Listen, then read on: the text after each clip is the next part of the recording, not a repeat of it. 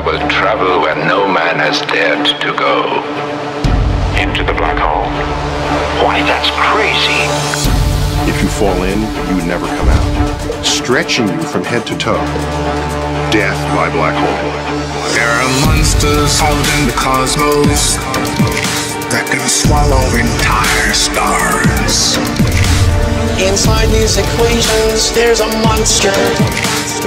Anything that strays too close will be pulled in. Gravity is infinite at the center of a black hole. Time stops. Space makes no sense. Every galaxy has got one big black hole in the middle and millions of smaller black holes. An anomaly of gravity so strange. Nothing is more seductive. There are monsters out in the cosmos that can swallow entire stars. That can destroy space itself, completely invisible.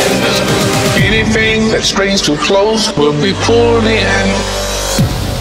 In the last century, black holes have gone from being mathematical curiosities to real objects in the cosmos, seemingly crucial to the formation of galaxies. Nothing can escape it, even light. There must be millions and millions of black holes. Millions and millions and millions zipping around our galaxy.